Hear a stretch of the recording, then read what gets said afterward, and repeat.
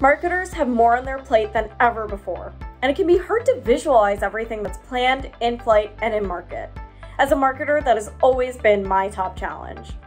And so, this is why I believe a marketing calendar that's visual, actionable, and agile is more important than ever before. Marketers just need one place to see everything, to organize all of marketing.